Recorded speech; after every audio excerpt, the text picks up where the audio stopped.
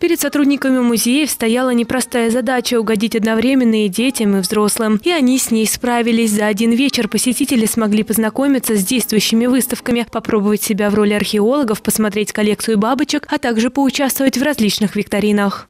Прошла викторина на знание истории, э, пришло понимание, что очень много пробелов в этих самых знаниях, да, и вот совместно с другими участниками пытаемся их устранить. Также в этот вечер все участники акции попробовали свои силы в различных мастер-классах, построили модель домика батюшки Серафима, сделали аппликацию собственного танка и смастерили своими руками куклу-оберег из ткани. Это была кукла в виде мешочка, внутри нее рис.